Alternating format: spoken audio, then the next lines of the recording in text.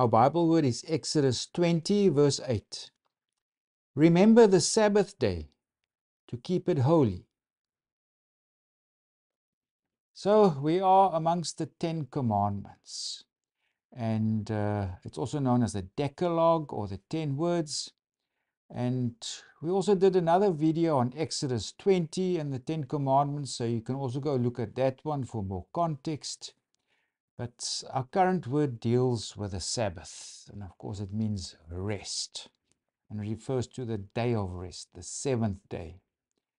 And God gives it here as a commandment for the people. It's part of the treaty, the, the, that covenant agreement between God and the Israelites. And they are supposed to keep the Sabbath. And of course, we no, normally know the Ten Commandments in a more abbreviated form. If we go to Exodus 20, verse 8, it says there, Remember the Sabbath day to keep it holy. But then it goes on to verse 9 Six days you shall labor and do all your work. And it carries on. But the seventh day is the Sabbath of the Lord your God. In it you shall do no work, you, nor your son, nor your daughter, nor your male servant, nor your female servant, nor your cattle, nor your stranger who is within your gates. So why must everybody rest on the Sabbath? Even animals must rest on the Sabbath. The, the household servants or slaves at that time must also rest. Why must they do this? That's explained in verse 11. For in six days the Lord made the heavens and the earth, the sea, and all that is in them, and rested the seventh day. Therefore the Lord blessed the Sabbath day and hallowed it. So it goes back to creation. If you go read Genesis 1 and 2, God created for six days and rested on the seventh day. Rested on the seventh day means he sat enthroned over all of creation. Because all of creation is kind of a temple. And now God created order out of chaos. He set order unto all existing things. He's enthroned king now. He's the one in charge. That is God resting on the Sabbath also in a sense refers to him that he ruled on the Sabbath. But yeah, for human beings, it's literally to rest, to do no labor. Already, if you go to Exodus 16, there the commandment was already given observe the Sabbath or do not work on the Sabbath. That's where the Israelites, they were trekking through the wilderness and God gave them manna to eat and he said, okay, on the sixth day you must Gather twice the amount so you don't gather on the Sabbath day, the day of rest, so you have also enough to eat on the Sabbath. For Jews, that also meant that all the food must be prepared before the Sabbath. Now, remember, the Sabbath was observed from sunset to sunset. In other words, from Friday evening to Saturday evening. That was the Sabbath. So before Friday evening started, Already all the food for the next day, that evening and the next day, had to be finished and prepared. No work could be done. And Jews normally, they mark the commencement of the Sabbath also by lighting lamps. And this was another, apart from the monotheism of the Jewish people, it was their Sabbath observance it was also quite distinct to them. I mean, all the peoples of the ancient world recognized the Jews they're observing the Sabbath, day of rest. And of course, there were some pagan authors that referred to the Jews. Are they lazy? One of the week, one day of the week, they lie around doing nothing. Lazy people. so they were mocked and made fun of for observing the Sabbath. But for Jews, observing the Sabbath is a day of rest because it harks back to the creation when God rested.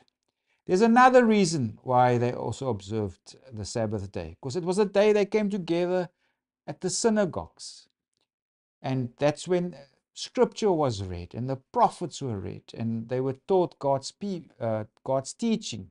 They were reminded of the stories of their ancestors and the Exodus, etc. There's another reason why the Jews also came together, because it was a day for reflection, a day to think about your relationship with God, the relationship to the covenant, the relationship to the law, their obedience, etc. So a very distinctive feature of the Jewish people back then is this day of rest. They could be recognized by others as the day where they are supposedly lazy and doing nothing.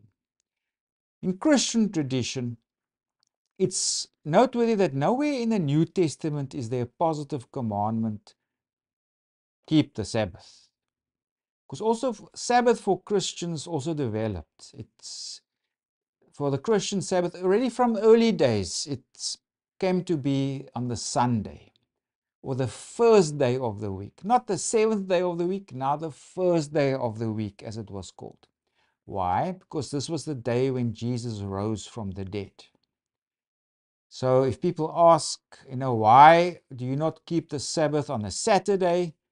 Then you can tell them, well, the Sabbath is actually from the Friday evening to the Saturday evening, originally for the Jewish people. But for us, the Sabbath day is now the first day of the week because thereby we profess the resurrection of Jesus.